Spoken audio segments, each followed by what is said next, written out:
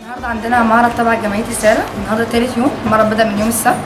والمعرض بهدفه إن إحنا نوفر للناس آه، الملابس بأسعار رمزية وأسعار بسيطة جدا عشان في ناس كتيرة وسط الظروف الاقتصادية اللي إحنا فيها مش عارفة توفر والشتا داخل. فكان لازم نعمل حملة تجميع وبعد كده حملة تجميع بنفرز الهدوم اللي جات لنا وبعد الفرز بنجيبها المعارض وتترتب بالمنظر دوت وكل واحد من الشباب أو البنات بيقف على بيمسك قسم معين بيبقى هو المسؤول عنه وهو اللي بيطلع الحاجات اللي فيه.